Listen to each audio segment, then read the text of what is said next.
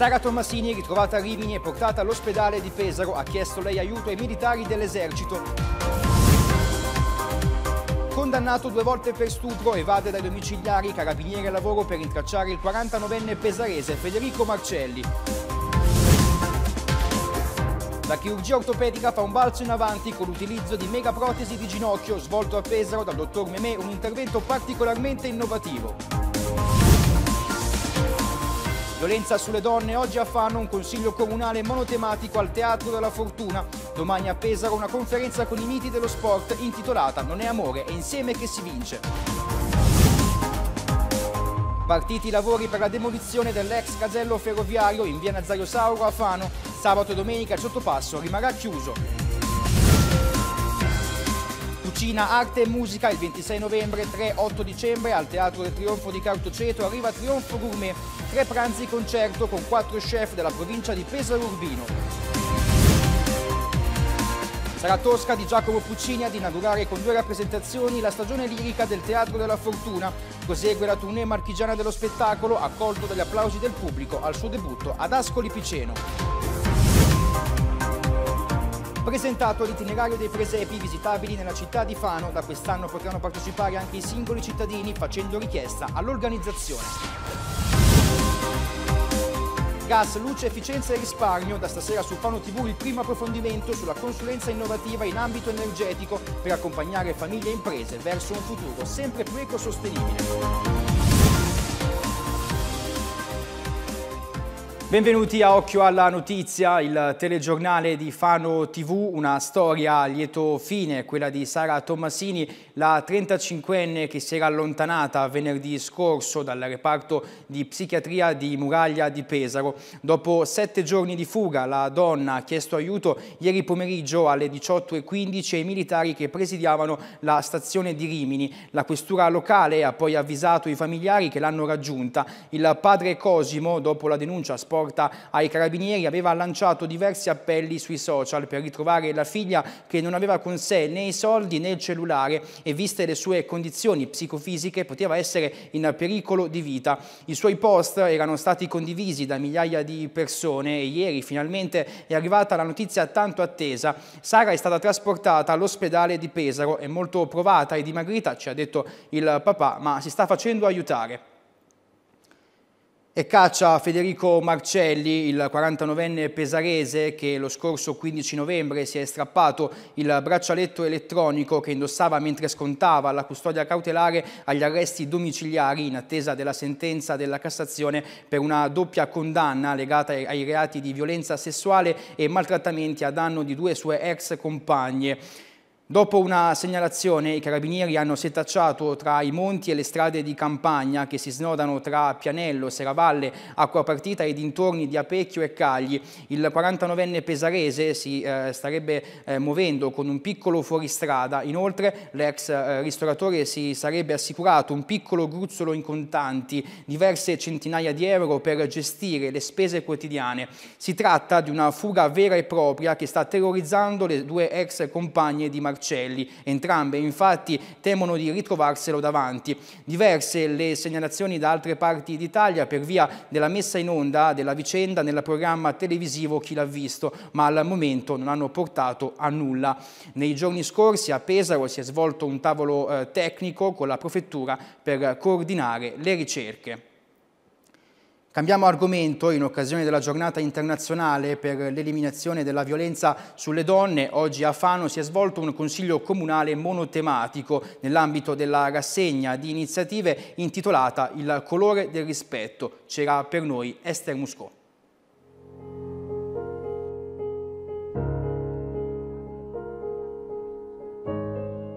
Si è svolto questa mattina, presso la Sala Verdi del Teatro della Fortuna di Fano, il consiglio monotematico sulla violenza sulle donne, anticipato da un minuto di silenzio per le 106 donne vittime di violenza dall'inizio dell'anno.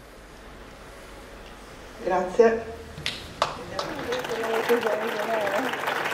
Una sala gremita di consiglieri comunali e regionali, associazioni, autorità, ma soprattutto di ragazzi con il coinvolgimento delle scuole, giunto al nono anno di collaborazione con il comune di Fano per divulgare la cultura del rispetto. Non sono mancati i momenti di forte emozione durante le performance di giovani che hanno portato in scena sul palco la triste piaga che affligge la società di oggi, la violenza sulle donne in tutte le sue manifestazioni.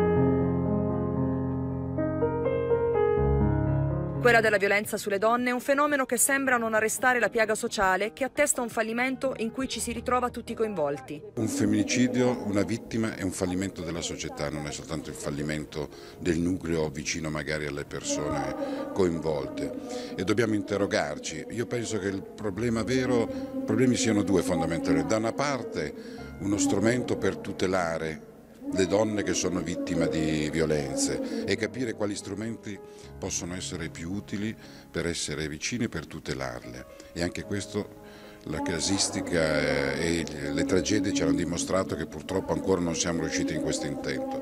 L'altro aspetto che, che forse, non voglio dire più importante, ma è fondamentale perché è la radice, è intervenire sul piano culturale, perché qui c'è un problema sociale di carattere culturale e dobbiamo cercare di arrivare a tutti. Il rischio di queste cerimonie magari è che ci fermiamo a ragionare tra noi, tra le persone che magari hanno una maggior sensibilità, ma dobbiamo impegnarci tutti quanti e la sinergia deve essere proprio utile per arrivare a tutti, a cominciare dai più piccoli, perché è un problema proprio anche di educazione con degli stereotipi con cui anche le ragazze e i ragazzi crescono, ma soprattutto va recuperato anche il dialogo, la parola perché viviamo in una società frenetica dove il possesso, l'avere tutto, il tutto subito eh, ci porta poi a essere in realtà più fragili, essere più deboli e, e che di conseguenza poi provoca quella emozione, quell'emozionalità che poi degenera e purtroppo i casi sono tanti e non riguarda soltanto uomini, donne, giovani, vecchi, poveri, ricchi, acculturati o non ignoranti, ma riguarda tutti, perché tutti cadono in questa eh, tragicità. Un lavoro di 365 giorni, quello che svolge l'assessorato alle pari opportunità del comune di Fano con il centro Paricentro, sempre a disposizione della comunità con la promulgazione della cultura del rispetto contro ogni forma di violenza di genere. Il colore del rispetto è stato intitolato così il fitto cartellone di iniziative. Dal 25 novembre al 10 dicembre, 16 giorni di fila per dire stop alla violenza sulle donne appuntamenti sono anche frutto di una collaborazione tra istituzioni, soggetti del terzo settore, associazioni, eh, scuole, istituzioni scolastiche appunto per eh, lavorare con linguaggi diversi e eh, restituzioni diverse eh, in luoghi diversi della città, eh, quello che è comunque un'analisi del fenomeno della violenza contro le donne ma anche delle possibili soluzioni e soprattutto soprattutto un lavoro sulle nuove, sulle giovani generazioni. È chiaro che questo va accompagnato con un percorso scolastico anche all'interno dell'attività curricolare eh, costante, che le iniziative non possono essere sporadiche, che le istituzioni ci sono e ci devono essere non solo il 25 novembre ma 365 giorni l'anno e questo è anche un po' l'intento eh, del, della nascita del Paricentro.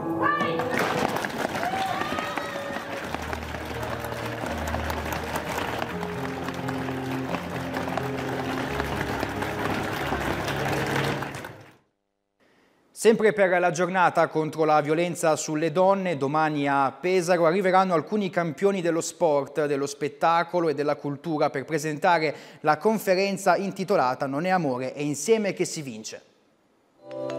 Anche l'associazione Miti dello Sport scende in campo per dire basta alla violenza sulle donne e lo fa a Pesaro con una conferenza stampa. Che cosa avete organizzato? Il 25 di novembre ci sarà appunto una conferenza stampa dal titolo Non è amore, è uniti che si vince, che è lo slogan dei Miti dello Sport e ci saranno delle donne e degli uomini che rappresenteranno appunto questa associazione che porteranno la loro esperienza per lanciare un messaggio di solidarietà e di unione. Soprattutto l'idea è quella che fare squadra vince sempre ci saranno tanti campioni. Esatto, ci saranno campioni dello sport, Giorgia Masia che è la eh, giocatrice di calcio della nazionale italiana, avremo Maria Luisa Garatti che è una maratoneta record e Giovanni Letizia che è il mental coach dei miti dello sport e poi tanti altri che non sveleremo per tenere la sorpresa. E anche la sala verrà allestita a tema? Sì, esatto, noi faremo la conferenza nella Sala Rossa di Piazza del Popolo e questa sala sarà proprio un'immersione totale dentro questa tematica importante con delle fotografie della fotografa Elisabetta Fusciani che è appunto una nostra conterranea della, provincia di Pesaro Urbino e poi ci saranno tante scarpe rosse per ricordare appunto le donne vittime di violenza. Per l'occasione ci sarà una bottiglia speciale che verrà appunto presentata e la raccolta fondi che verrà effettuata sarà devoluta per un'associazione di donne vittime di violenza. Verranno celebrati lunedì prossimo alle ore 15 nella chiesa San Pio X al Poderino di Fano i funerali di Rita Talamelli, la 66enne uccisa dal marito Angelo Sfuggiti che lunedì sera ha strangolato la moglie uccidendola per poi tentare il suicidio. In un primo momento i familiari avevano pensato di far cremare il corpo della donna ma sarebbe stata necessaria anche l'autorizzazione del marito che si trova ancora ricoverato nel reparto di psichiatria a Muraglia. Considerata la situazione, la salma verrà sepolta al cimitero centrale. Questa mattina invece è stato dato l'ultimo saluto a Luca Casagrande, il geometra di 45 anni colpito da un malore fulminante mercoledì mentre era alla guida di un furgone aziendale lungo la 14 nei pressi del casello di Cattolica. I funerali sono stati celebrati alla chiesa di San Paolo Apostolo al Vallato. Tanti, eh, tante in questi giorni le persone che hanno scritto messaggi di cordoglio per la scomparsa del 45enne padre di due figli, come quello dell'Ital Service Calcio a 5 che proprio sulla pagina Facebook ha scritto Luca è stato un dirigente dell'Ital Service Pesaro, stimato e ben voluto da tutti. Era il cognato della nostra eh, presidente Simona Marinelli, persona squisita, sempre gentile e altruista, lascia un vuoto enorme. A Sassonia di Fano sono partiti i lavori di demolizione dell'ex casello ferroviario e della rampa dove a breve verrà realizzato il nuovo sottopasso in via Nazario Sauro. Per questo motivo è stata eh, predisposta la chiusura del sottopasso dalle ore 20 del 25 novembre alle ore 10 del 26 novembre, così da permettere a eh, Rete Ferroviaria Italiana di eseguire l'intervento in sicurezza.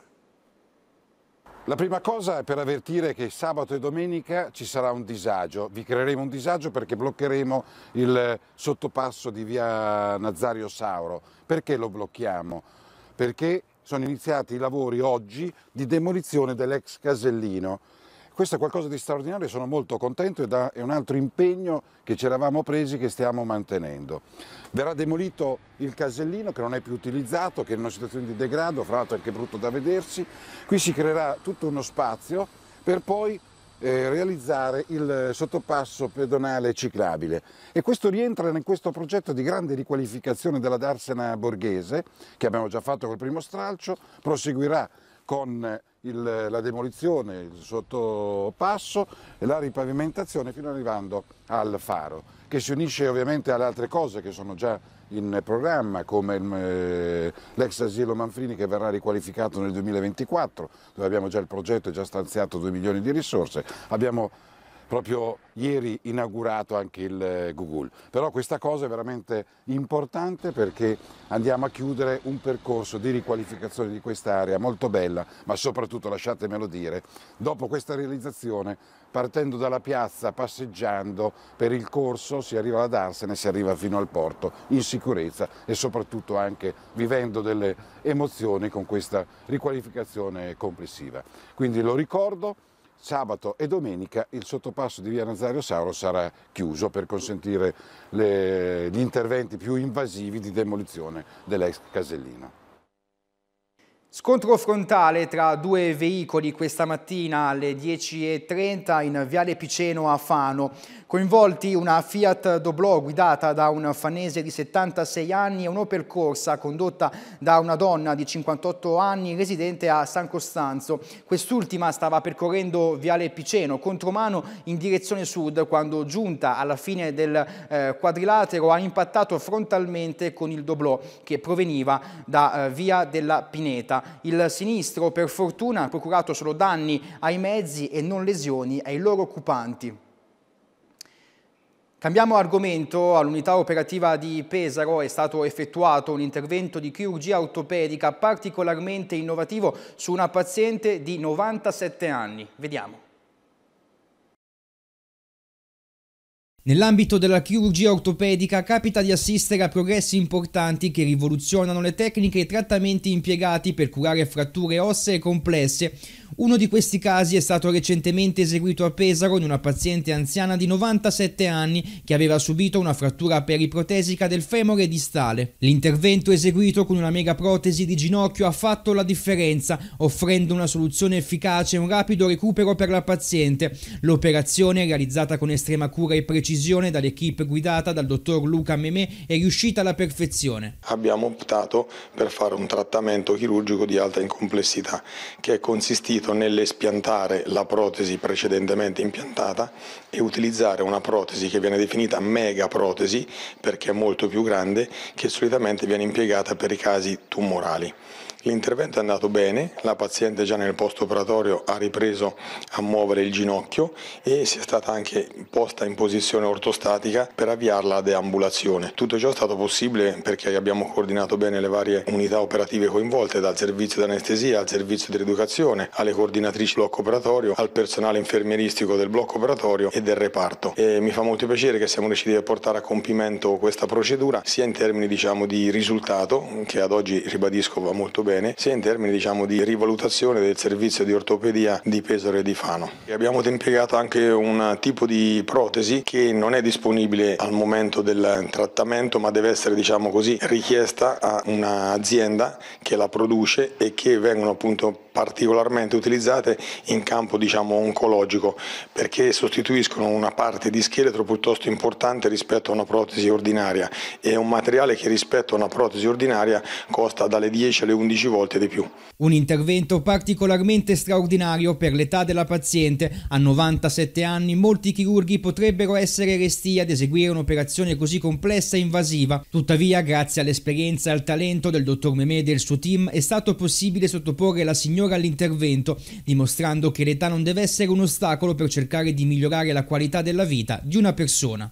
È importante perché in letteratura sono descritti altri casi, però sicuramente una paziente di 97 anni credo che perlomeno in Italia è unico sia perché i pazienti che arrivano a quell'età sono rari, sia perché spesso appunto hanno delle condizioni di comorbidità particolari per cui non vengono trattati chirurgicamente. Quindi in questo caso abbiamo provveduto al trattamento chirurgico perché la paziente in realtà ecco, aveva delle condizioni fisiche eh, ottimali. L'età ormai non è un fattore unico da considerare, quando da noi arrivano i pazienti ormai un paziente di 85, 86, 89 anni vanno considerati tutto sommato anziani, ma quello che va valutato è soprattutto la loro capacità, autonomia e capacità a svolgere le funzioni della vita quotidiana. In attesa dell'accensione dell'abete in piazza 20 settembre prevista per domenica è stato presentato l'itinerario dei presepi visitabili nella città di Fano. Anche i singoli cittadini potranno partecipare all'iniziativa. Sentiamo. In occasione del Natale più di Fano parte anche quest'anno l'originale iniziativa delle vie dei presepi. Dal 25 novembre fino all'Epifania sono diverse le natività allestite all'interno della nostra città. Assessore Etienne, quali sono? In questi anni eh, abbiamo realizzato una vera e propria via partendo dal presepe di San Marco, il più attrattivo tramite il quale la nostra città fa promozione veramente in tutta Italia. Tante persone, oggi sono 15.000 visitatori, arrivano da tutta Italia per visitare quello che non è soltanto un presepe ma è la storia dei diorami. Ecco, a seguito del presepe di San Marco è nata veramente una vera e propria via dei presepi. Ad oggi oltre quello è nato il presepe marinaro realizzato prima nella finestra della casa di Rolando Gasparoli, oggi è uno stupendo presepe che nasce nella chiesa del porto, tutto da visitare, racconta le nostre tradizioni marinare. Ancora è nato il presepe dei mesti carristi nella zona del Pincio, proprio dove c'è il mercatino, parla di una delle nostre più grandi identità, quella del nostro carnevale, realizzato in cartapesta dai mesti carristi, oggi è un presepe che ha veramente tante figure, che racconta anche un ambiente, quello del Pincio veramente molto suggestivo della nostra città. Poi ancora il presepe della trave, realizzato eh, dalla comunità di Poderino, dall'associazione, in questa stupenda chiesetta che è la chiesetta della trave, nella quale si è riunita tutta la comunità a realizzare questo bellissimo presepe. Insomma, una vera comunità cittadina che si sta unendo intorno a un progetto che permette di visitare tutta la città. A questo quest'anno si aggiunge anche un nuovo progetto, quello delle vie dei presepi, che comprende i cittadini, realizzato in collaborazione con la Presidente dell'ente carnevalesca Maria Forra Giammarioli, eh, Manuela Palmucci e una serie di cittadini attivi in questo progetto. Ad aggiungersi quest'anno sono anche i presepi realizzati dai singoli cittadini. Manuela Palmucci di che cosa si tratta e come è possibile partecipare? Il progetto consiste nella valorizzazione di coloro che hanno delle abilità nell'arte presepiale. Eh, chiunque voglia partecipare può farlo e qualsiasi cittadino che voglia partecipare può eh, inviare una mail a eh, vie dei presepi Fano chiocciolagmail.com. Chi eh, partecipa può segnalarcelo, ma anche chi voglia partecipare, chi voglia visitare, basta che eh, punta il QR code, eh, quindi vedrà una mappa con varie, gli vari allestimenti.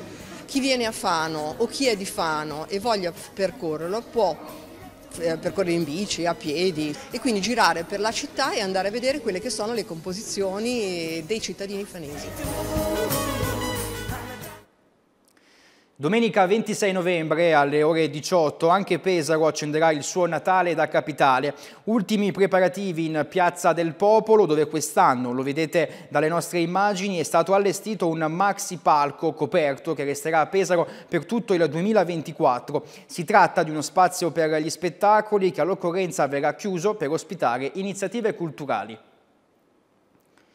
Tornano a risuonare le voci liriche al Teatro della Fortuna per una stagione che lascerà il segno. Due le opere in programma, si inizia con la Tosca di eh, Giacomo Puccini e si prosegue con Cenerentola di Gioacchino Rossini. Il primo appuntamento proposto dalla rete lirica delle Marche porta una firma illustre, ce ne parla Massimo Foghetti. È una delle opere più rappresentate al mondo e costituirà, insieme al Cenerentola di Gioacchino Rossini, il titolo di spicco della stagione lirica del Teatro della Fortuna. Parliamo di Tosca di Giacomo Puccini, che sarà rappresentata per gli studenti in anteprima alle ore 17 di giovedì 30 novembre e per il pubblico alle ore 20.30 di sabato 2 dicembre. Sul palcoscenico un cast di giovani già avviati sulla strada del successo. Tosca sarà soprano Monica Zanettin, Mario Cavaradossi, il tenore Vincenzo Costanzo, Scarpia, il baritono Federico Longhi. La regia è di un nome che non si dimentica, quello di Renata Scotto, che l'ha curata come ultima sua opera prima di morire all'età di 89 anni. Un'opera dunque da non perdere, che è stata presentata nel foyer del Teatro Fanese con l'apprezzamento dell'assessora alla cultura Cora Fattori, dal direttore della rete lirica delle Marche, Alessio Vlad, e dal maestro Giovanni Di Stefano, che dirigerà l'orchestra filarmonica marchigiana. Quest'anno è cominciata la rete ad Ascoli, sta proseguendo a Fermo e finirà a Fano. Una programmazione che valorizza anche i giovani. Deve essere il trampolino per i giovani, ovvero deve dare l'occasione a dei cantanti di nuova generazione di misurarsi con dei ruoli impegnativi, come per esempio sono i ruoli dell'opera di Puccini e dell'opera di Rossini, avendo le migliori condizioni condizioni di lavoro per quanto riguarda le prove e soprattutto anche per quanto riguarda un confronto con i direttori d'orchestra e i registi che li guidano. Maestro Giovanni Di Stefano con l'Orchestra Filarmonica Marchigiana, protagonisti di questa versione di Tosca.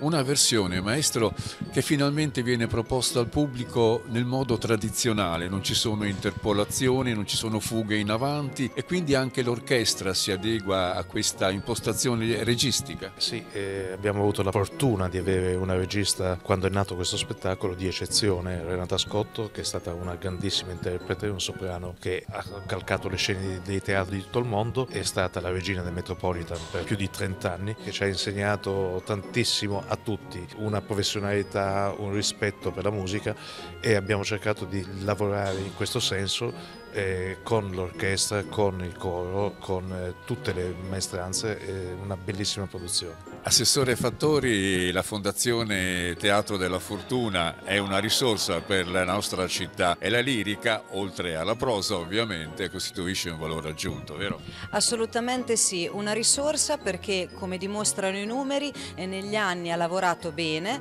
e le persone lo hanno capito, la città lo ha capito e sono cresciuti tantissimo abbonamenti e partecipazioni e questa risorsa ha lavorato molto bene nel territorio anche con i ragazzi. Ricordiamo che Tosca andrà in scena il 30 novembre proprio eh, con una rappresentazione pomeridiana dedicata alle scuole, cosa affatto scontata, è un investimento per la Fondazione, ma un investimento che poi torna e dà i suoi frutti ampiamente all'interno della città e della cultura della città. E poi dopo il 2 invece, il 2 dicembre, la sera, per, per il pubblico più adulto o anche più giovane, non è detto, sarà possibile ammirare la messa in scena della Fondazione Rete Lirica delle Marche, altra grande risorsa che abbiamo voluto con tutte le nostre forze aiutati dalla Fondazione Teatro.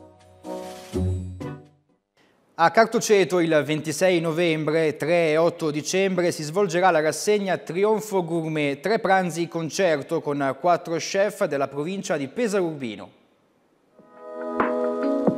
Nata sulla scia di Cartoceto dopo il festival, domenica prende il via la rassegna Trionfo Gourmet. Da chi è organizzata e che cosa prevede? Ma, eh, intanto è una rassegna organizzata dal Comune di Cartoceto in eh, collaborazione, che rientra all'interno delle iniziative di valorizzazione dei borghi dell'entroterra eh, regionale in collaborazione ovviamente con il consorzio di tutela della DOP eh, Cartoceto, con l'associazione italiana eh, Sommelier, eh, Valle Scoprire, il raggruppamento di 15 comuni eh, dedicato un po' ai progetti di valorizzazione turistica, nonché eh, con gli itinerari della bellezza della provincia di Pesaro Urbino. A valle di Cartoceto DOP il festival beh, continua direi questo viaggio sensoriale immersivo all'interno del territorio di Cartoceto, non solo all'interno del borgo ma in generale all'interno di quelli che sono i suoi elementi che contraddistinguono il patrimonio, da quello artistico, culturale, storico da un lato a quello dell'eccellenza agroalimentare dall'altro e appunto Trionfo Gourmet, sono questi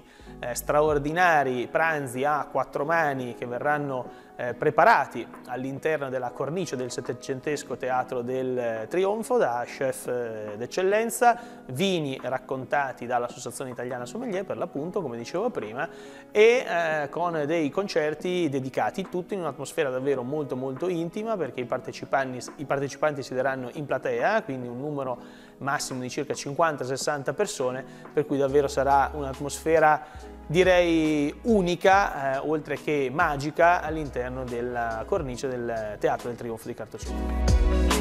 Sarà necessario prenotare?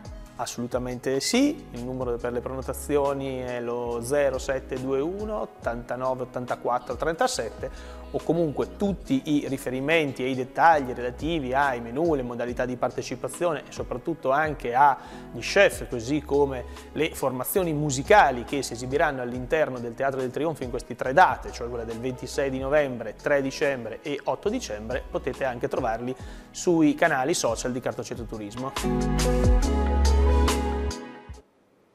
Vi ricordo che sempre domenica torna alla Codma di Rosciano di Fano la seconda ed ultima giornata di Sapori e Aromi d'autunno, il Salotto del Gusto. Tante iniziative previste tra enogastronomia, salute, arte, sport e degustazioni di vini. Da non perdere lo spettacolo appuntamento alle 17.15 con un, un salame da Guinness, ovvero il taglio e la degustazione di un salame artigianale di alta qualità di oltre due metri. Il programma completo lo troverete anche sul nostro sito occhioallanotizia.it. In occasione della ricorrenza di Santa Cecilia è in programma per domenica 26 novembre alle ore 18 all'interno della chiesa parrocchiale San Giuseppe al Porto a Fano il tradizionale concerto in occasione della patrona dei musicisti. L'appuntamento musicale ad ingresso libero è curato dall'orchestra di Fiati Fanum Fortune diretta dal maestro Sauro Nicoletti.